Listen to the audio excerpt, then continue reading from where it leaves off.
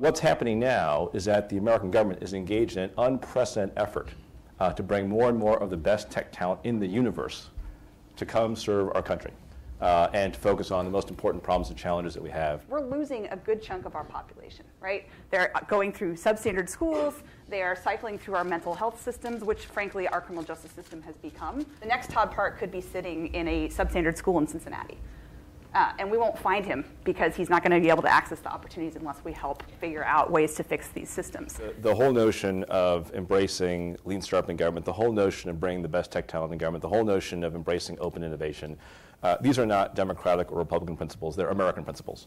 These three concepts the cultural shift to understand that there's talent outside the organization that you should tap in. You should also look within the enterprise. Sometimes those voices get stifled and that you should find mechanisms, especially in today's digital age, where you can more easily connect to that said external talent. We had best practices that we could bring right in from the public sector, private sector that were uh, uh, applicable in the public. We really should be moving towards a world where technology and policy are no longer considered as separate things. Totally.